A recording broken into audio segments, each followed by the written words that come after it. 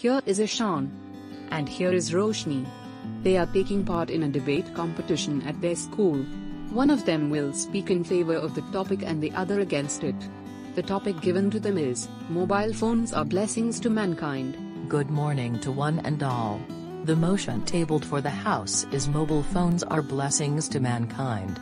I, Ishan Rai of Standard 6, strongly speak in favor of the motion. The other day, my grandfather told me that in his youth, he had to travel for 8 hours to find out about a relative who was sick. Again after a few days, he had to travel to ask if he was doing well. Isn't it ridiculous? Can you imagine how much time and energy is being wasted there?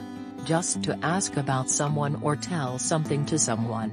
Had there been mobile phones, his energy and time could have been saved for other productive purposes.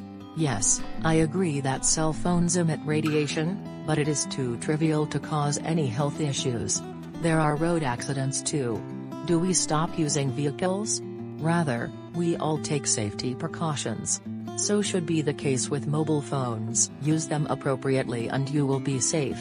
You can use Bluetooth and wireless earphones to completely avoid any radiation from mobile phones.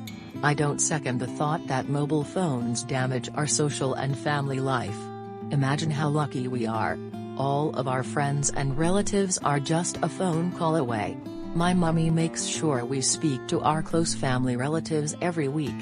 Also, if we hear any of our relatives are sick, we immediately call them up and check on their health. Cell phones made this happen. Cell phones are no longer just a device to make phone calls. Instead, they are mini computers. We can do our school projects and use it as a gaming device when we are bored. Parents use it to complete their work when at home and that way they can stay at home and spend quality time with family. Everything is at our fingertips. We can use it for bank transactions, and have you noticed that in sports, the judges use it as a stopwatch? Imagine how much we can do with a mobile phone. It is a computer, it is a camera, it is an alarm, it is a task manager, it is an inexpensive gaming device, and whatnot.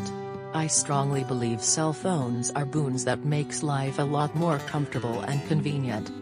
Thank you.